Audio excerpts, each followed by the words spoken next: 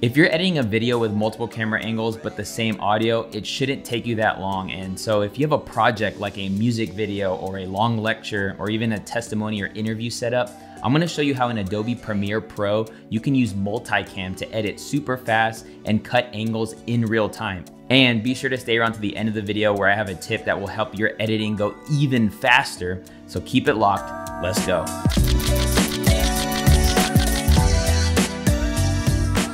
Hey, what's up? It's Omar El-Takrori, your content creator coach. And on this channel, it's all about helping you get better photos and videos. And sometimes I do camera reviews, camera tips, but also times workflow tutorials just like this one. So if you're new here, consider subscribing. So I've been editing video for right around 15 years and it's been a journey. Uh, however, I've always tried to find out how things could be done faster, smoother, quicker. And so uh, I used to do, you know, videos with multiple camera angles and edit and select each angle one at a time. But I found a way that you can actually just edit in real time, almost like you're live switching. And uh, it's a super effective way that can help you edit super fast and get the projects turned around, whatever it is that you need. And so let's get into it. All right, so here we are on my desktop. As you can see, it's super clean. Hit that like button if you like a clean desktop. Very rare. I actually just dragged all my files into this desk folder. But anyway, uh, I just wanted to show you how I stay organized before I even start editing. And so, you know, all my files are in this folder right here. This is a worship song that we recorded. And, you know, if you're doing work for church, let me know in the comments. I love doing creative work for church. But anyway, we just shot this worship song in with five different angles. I used five Sonys. And I just wanted to show you that I how organized I like to stay. And so if you notice, I, I name the files what they are. So this is the tight angle. This is um, the A7 that was used on the right side, the A7 that was used on the left side, the slider angle, and then the strings. This is just recording the guitars. It was kind of just on the floor. But five different angles. I'm naming them separately. I'm not just dragging them in because it's just nice to be able to reference by looking at the file name. And then as you can see, I have my audio file, which is the mix uh, in the master version of the audio. So I got all scratch audio on all the cameras, and simply that just means my audio on the camera itself is captured. So it actually has something to reference.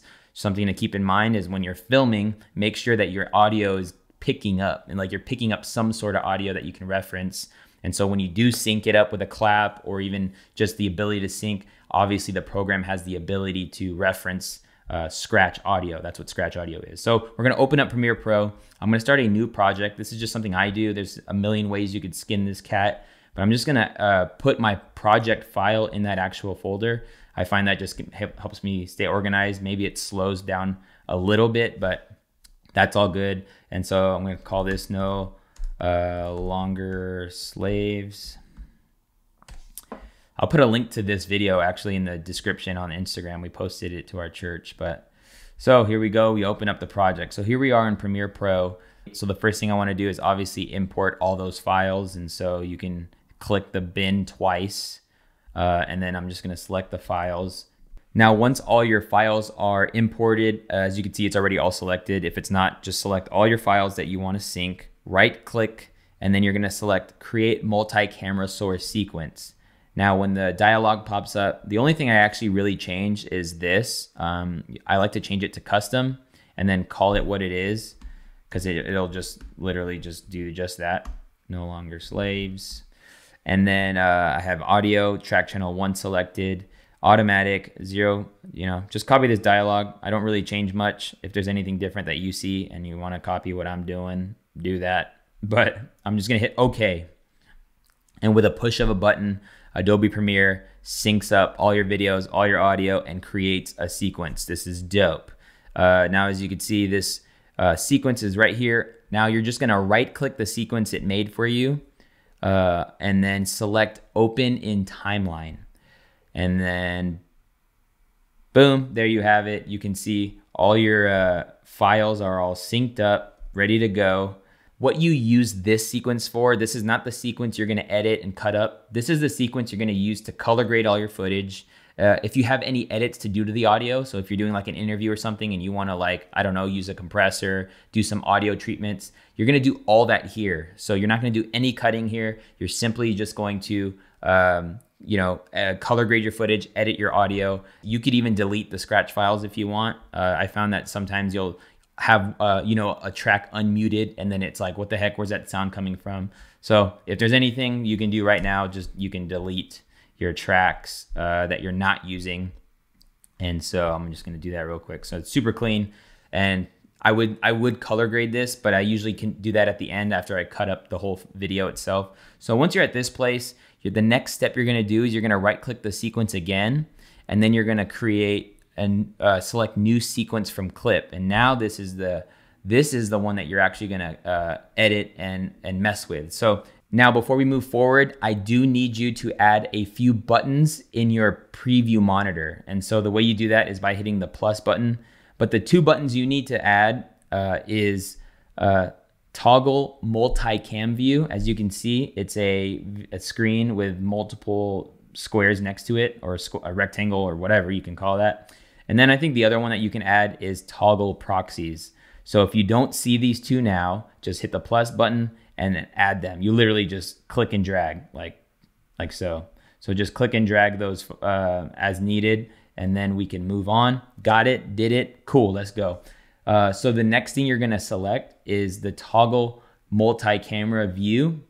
So you can just click this right here and there you have it. It shows you all your angles in one time. I mean, at one time, which is super cool and uh, is super helpful. And so the next thing I'm going to do is right click the screen and then I'm going to uh, select overlays. Now I think it's really important that you do this do this because you can see the numbers that it gives you.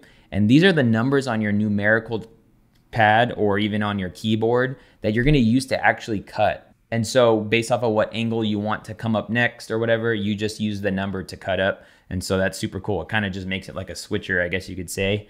Um, and so when you get to this point, you're kind of ready to go to just start uh, going. I just want to make sure you know a few things if you don't see it. Uh, just make sure that you're, if you're ready to do the cuts, that your track is selected. And I found that if it's not selected um, and you try to edit, it'll, it goes away and you might be like, what the heck? I don't know what to do.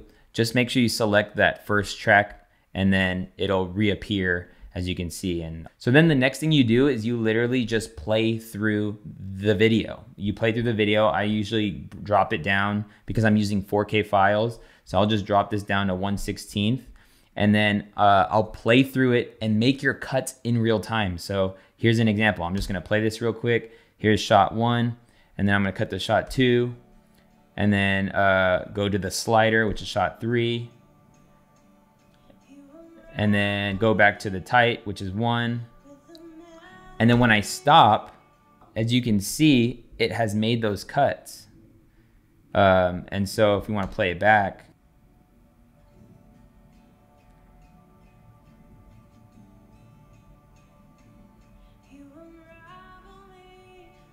And just like that, that's how you cut up. I'll, I would literally just sit here and just go through the entire song itself before I make any new micro adjustments. But uh, if you do mess up, maybe you do a cut you don't want it to be there, simply drag your cursor back to where you want it to start again. And then all the cuts you make after that, it'll just override. And so I don't like doing Command Z or undoing because if you sit through a, a two minutes of cutting and you hit Command Z, it'll wipe away that whole session. And so I like to think of it of a session. Like I'm going to session this first draft, cut them all up, and then I'll watch it back and then make any mic- micro adjustments. But I'm always looking for the best shot, you know, in a situation like this. So, you know, if the song starts with the guy playing the piano, I'm going to start with the piano shot and things like that, just to keep that in mind. Well, now I do have a tip that can make your process super quick uh, and I think would help most people who are using 4K files or even HD files, but your maybe your computer or laptop's a little slow. But let me know if you're getting value in this video by smashing the like button if you haven't already. And question for you is what kind of projects are you usually doing? What requires multiple angles? A lot of times for me, if I'm doing Think Media videos, which is another channel I post content on, sometimes we do like top down angles and I'm doing something and we need to like cut as needed. I also do a lot of stuff for church, like our you know our sermon. We film it with multiple angles.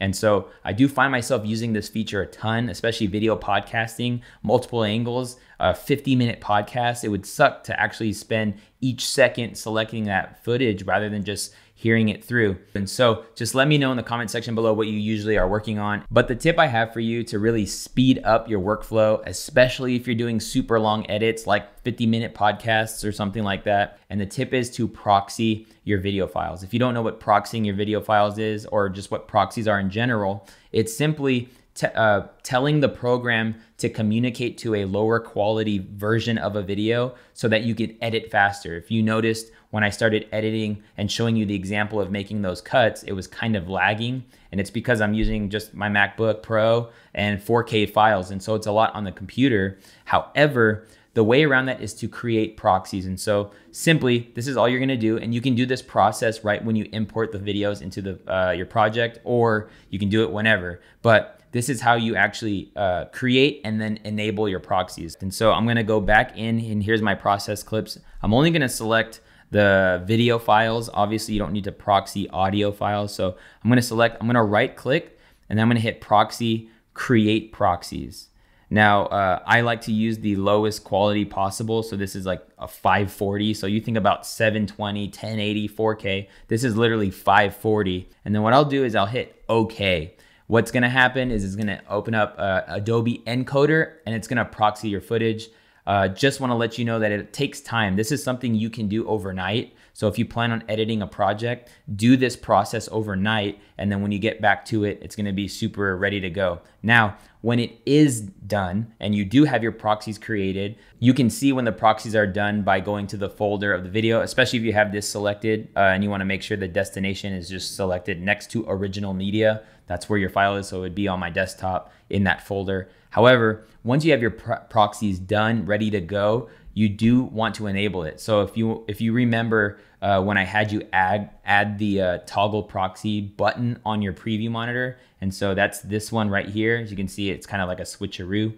Call it a switcherooski because that's what it's doing. It's switching the the files from the 4K files or 1080 files or whatever files you're using with the bad quality ones, I guess you could say, or the 540p versions. And that way you can actually uh, edit super duper fast. And so that's my power tip. If you have questions about it, let me know in the comment section below. And I actually have a playlist on Think Media and we, we go through a ton of stuff in regards to Premiere Pro. If you want to check that out, uh, click or tap the screen. And I really appreciate you watching this video. Again, if you got value, smash the like button. If you're not subscribed, subscribe. I'm going to try, to drop more content. I know I've been ghosted for a little bit, but it's all good. Your boy's back now. I got a beard. I don't know if I'm gonna keep it. I got a kid now. I got a different life. My life's different from all the videos that I posted in the past. But anyway, it's uh, super cool. I hope this served you, and I can't wait to see you in another video. Peace.